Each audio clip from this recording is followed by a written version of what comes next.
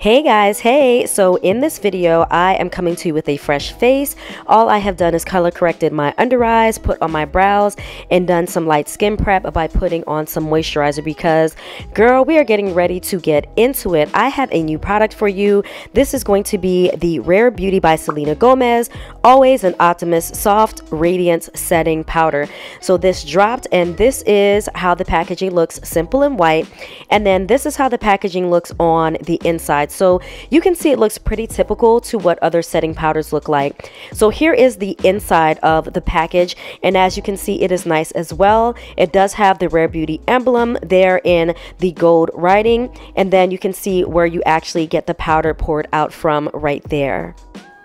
Now, the cool thing I can say about this packaging is that it actually has like a lock device so that you can open and close it. So that way, when you are not using it, you don't have to worry about powder kind of like spilling everywhere. So you can open it and close it just like that. So kudos Selena on that. So it retails for $22 and for $22 you get 0.33 ounces and it also comes y'all in five colors. So the first color is medium. It's for warm honey for medium to medium deep complexions. The next one is light, which is a soft pink for fair to light complexions. Next is light medium for true peach for light to medium complexions. Medium slash deep for golden tan for medium deep to deep complexions. And then we have deep, which is for rich mahogany for deep complexions. So you can tell that they are giving us a variety. So I got the medium and I just wanted to show you here how it looks when I've poured it out versus how the website says that it looks. So it's pretty spot on. Next, we are going to prep the face. I'm going to use my Maybelline Master Primer to prime my face just so we can get ready to do everything we need to do to make this look as good as possible. So I'm going to take a few dots of this Maybelline primer. I really like this. This is very comparable to the Smashbox primer if you are looking for a dupe for that, but this just feels so nice on the face, y'all. Like it makes my face feel so smooth. It fills in any pores. It just makes your skin kind of like look very airbrushed. So I'm going to make sure to work that into my face. And as you can see, my fingers are pretty much gliding on my face, which is exactly what you want the primer to do. We're going to prime because we want to give this powder the best chance. So that is how I looked all primed and looking very moisturized. I'm now going to be using the Maybelline Fit Me in the Dewy Smooth Formula Foundation. I really like this foundation out of like all the drugstore foundations that I've ever tried. And if you're wondering, I am in the color 355 Coconut. So I'm going to shake this up really well so that way it can blend even seamlessly and more smoothly into the skin. And I'm just going to start off small. If you've ever seen any of my other makeup videos, y'all know I don't like to go too ham except when it's like setting spray or those type of things. But when it comes to the foundation, I just like to start off small, getting a few dots, and I wouldn't even call this like a full pump. Now I'm going to be using my foundation brush and I'm going to wet it with just a little bit of setting spray. And once I do that, I'm going to blend it into the skin. Now I know that the foundation may look like it's a bit too dark, but y'all give it a chance. It actually like goes really well with my complexion. I can use this in the summertime time or I can use this in the winter time just all depending on what kind of concealer I'm using. But y'all I definitely wanted to show you these steps because I don't want you to think like you're just gonna slap this setting powder on your face and it be all good. Like no we have to go through the steps so I wanted to show you how I get my face prepared to use the setting powder in the first place. So I'm going to continue to blend with that Real Techniques foundation brush and make sure that I pat this in and smooth this into my skin until my foundation takes on a skin-like appearance and just has a nice glow to it as well. I forgot to do my nose so I just took a, a, little bit more of the foundation to blend it in on my nose to make sure that everything looks good cohesive and even. And now with that same blending brush I'm just going to blend out the bridge of my nose and then the side of my nose as well. So this is what I look like with that foundation in. Again guys you can look at my face and look at my neck and tell that it it's a match Next for my concealer, I'm going to be using the e.l.f. Hydro Camo Concealer because your girl has dry skin. And I'm going to be using the color Deep Chestnut, which is for golden undertones, which I definitely have. So as you can see, we want to give this powder the best chance, which is why I'm making sure to use something that is nice and hydrating and something that I believe is going to marry very well with this setting powder because at the end of the day, that's what you want, boo. Like you want your setting powder powder and for your concealer to be married and just to become one. So I'm going to let that marinate for about 20 to 30 seconds to build up the coverage as much as possible.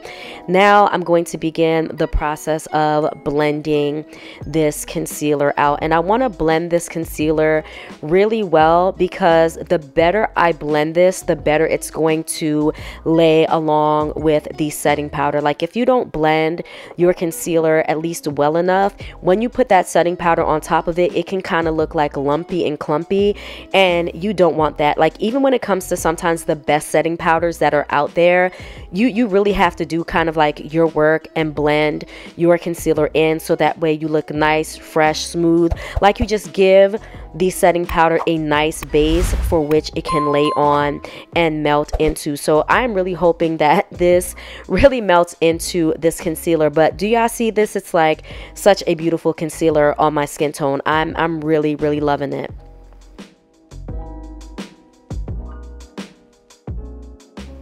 So I realized that I wanted a little bit more brightening under the eyes. So I grabbed that same e.l.f. Camo Concealer, but this time in the color Deep Olive. And I'm going to blend that out right on top because I realized that the powder is a little bit like on the warmer side and on the browner kind of side when I look at it. So because it is a lot warmer, I just wanted to give my under eyes a chance to kind of have like that glow and that highlight to it without going overboard. So that's why you guys are seeing me blend blend this in on top. But then again, this concealer is so good. Like as you can see, even blending a second layer doesn't matter girl because we still look good. We still look good and blended. So on this side i'm going to set my powder the normal way by pressing it. And on this side i'm going to bake like betty crocker so that way you can see two options with the powder to see how well it's going to work depending on your preference. So on my damp beauty blender this is how much i'm going to use to begin the baking process. So i'm just going to take that beauty blender and i'm going to gently press that powder in so that way we can bake and no shade to baking. Some people love this and it works so amazingly well for them. So i really hope that the results are good for you know those of you who love to bake. So i'm going to now take a second layer of that because y'all know when people bake, when people become Betty Crocker with, you know, the under eyes and the setting powder, they put quite a bit on. So I wanted to give this the chance to have that same effect by building that up and seeing if we can make this side look like extra snatched, right? By adding more of the setting powder and blending that in. Now I'm going to take my e.l.f. brush and I'm going to do my regular technique, which is just taking one tap of powder in, getting rid of the excess. And this is how much we are going to use for that side, period. So I'm going to take this and like I like to do, I start at the inner corner and then from there on out, I just like to press the powder in, whatever is left of that powder into wherever I have concealer. And I like to just do this until the under eye begins to look very smooth smooth until I see that, you know, the powder is really marrying with the concealer and it is pressing in as much as possible. So here is the side that we have baked, right? So that's how it looks so far. And we're going to let that sit and bake for a moment.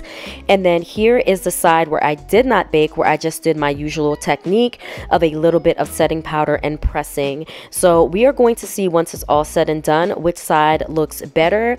But now with the baking side, since it has set, I can let you know that it doesn't feel like heavy on my skin at all. So I'm going to take that same brush that I got from e.l.f. and now we are going to sweep away away any excess powder that is left on top of the layer where we have baked. And we want to get that as smooth as possible. And as you can see as I am sweeping it away I'm also making sure that I am taking my time to press any excess powder into the skin as well. So that way you know it doesn't look harsh it doesn't look cakey or anything else. We're going to pretty much smooth in that powder as much as possible Now I'm going to use my MAC Fix Plus setting spray. I love this spray because I feel like I can go ham and it still look good. So I'm going to take a few sprays like that on the face. As you can see, we going ham, girl. Calm down.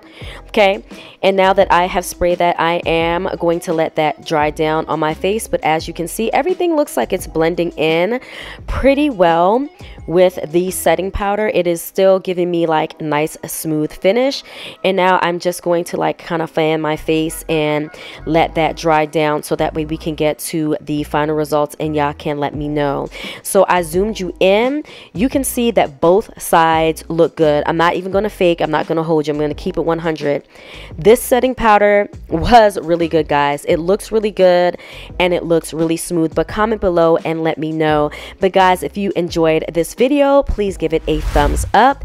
And also consider subscribing to my channel and clicking the notification bell so that way you know whenever I post more videos. But thank you so much for joining me. Stay blessed and I will catch you in the next one. Bye!